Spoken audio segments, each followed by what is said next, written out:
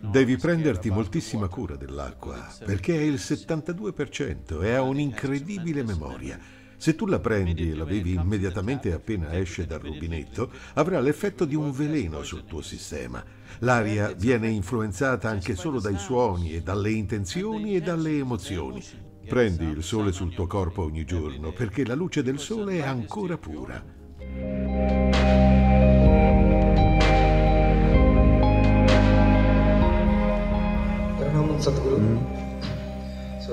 I uh, have listened to you saying that 70% of our body is water and uh, if we drink the energized water it uh, really uh, we can have grip on the body and mind. Is it true with the air and food that we take? Because in the city we have to live with the polluted air and the air conditioned rooms in our company. So uh, could you please explain the Bhuta process in elaborate? Se dici alla tua azienda sono disposto a lavorare senza aria condizionata, saranno molto contenti.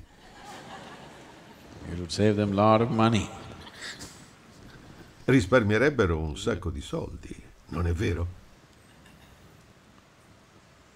Uh, E sarebbe un bene per te sotto tanti aspetti, ma, but ma ora la città non è in quel tipo di situazione, per cui se apri la finestra non arriva la brezza, arriva fumo, arriva puzza, arriva polvere. Quindi will come, dust will come. So va bene, è utile, ma non devi 24 stare qui seduto 24 ore solo per lavorare. Puoi fare una passeggiata appena puoi. In ogni caso il 72% è acqua, 12% è terra, solo il 6% è aria. In quel 6% di aria, l'aria non è sempre nel respiro. Di quel 6% di aria che c'è, è solo meno dell'1% quella che stai respirando. Il resto è semplicemente lì. Per alcune persone è concentrata nel cervello, ma altrimenti in ogni cellula del corpo c'è aria. Quindi quando dici aria non è solo il respiro. Il 6% dell'aria è in ogni cellula del corpo. Basta toglierne un po' dal cervello, ti farà bene. Va bene se è nei polmoni, nel cuore, nei muscoli. Funzionano meglio se c'è ossigeno, sai. Lo sai? Se sei in carenza di ossigeno, i muscoli si irrigidiscono perché questo ha bisogno d'aria, altrimenti non funziona. Così. L'acqua è il 72%. 72%. So maximum Per cui bisogna fare molta attenzione all'acqua, perché è il 72%. Se devi fare un esame, ammettiamo sia così, diciamo che devi fare un esame di fisica. C'è l'acqua, la terra, questo, quello, ma il solo argomento acqua influisce sul voto per il 72%.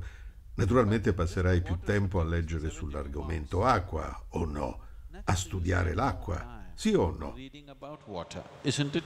Studying water. Yes or no? L'aria è solo il 6%, potresti non studiarla perché ti va bene anche un 94%.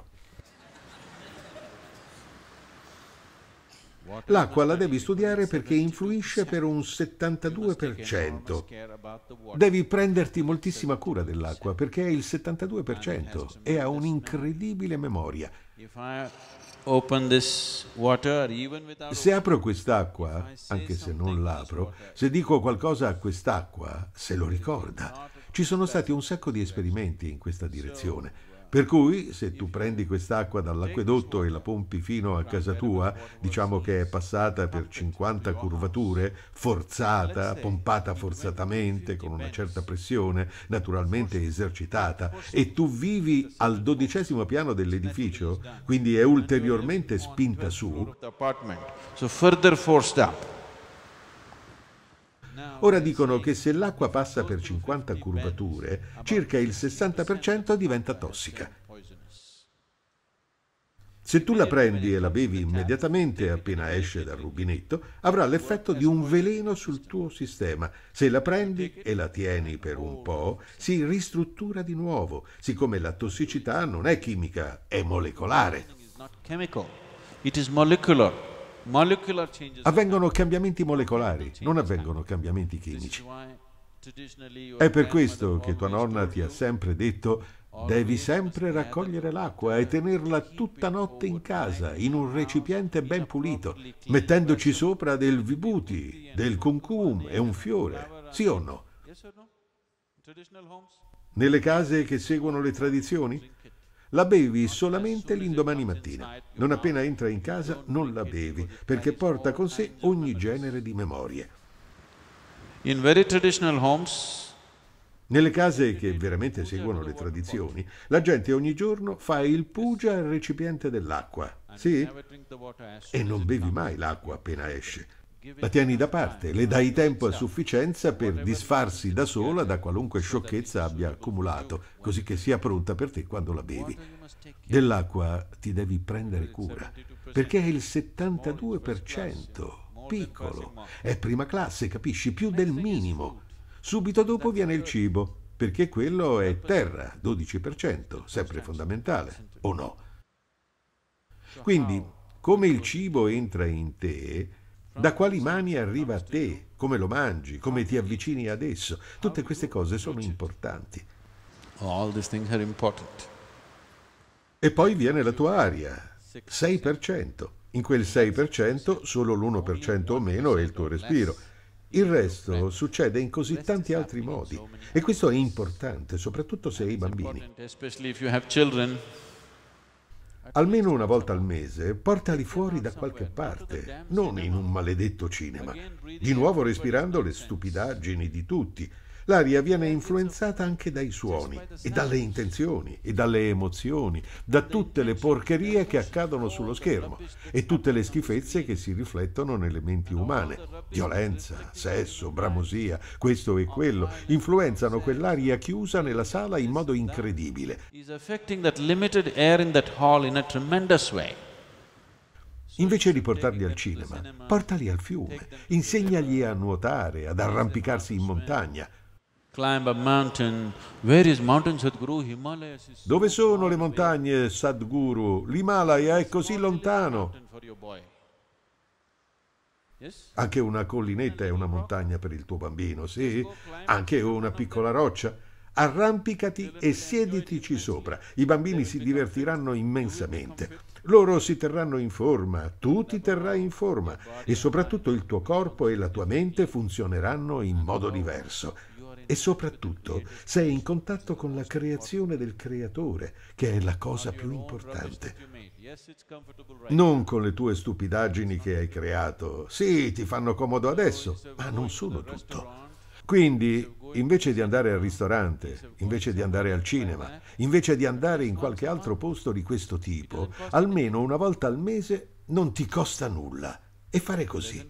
Non ti costa nulla. Ti puoi portare del cibo e mangiarlo lì, visto che comunque ce l'hai. Non devi spendere soldi per questo. Ancora meglio, se non vuoi spendere soldi, neanche per l'autobus o la macchina, potete andare tutti in bicicletta, appena 3 km, 5 km fuori.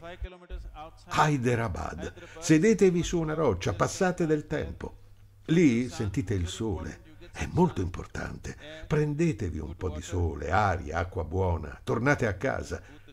Stai facendo Buttasciuddi, in modo molto naturale. Non è il Buttasciuddi per eccellenza, ma stai facendo un po' di Buttasciuddi. Questo è quello che stavo dicendo proprio adesso.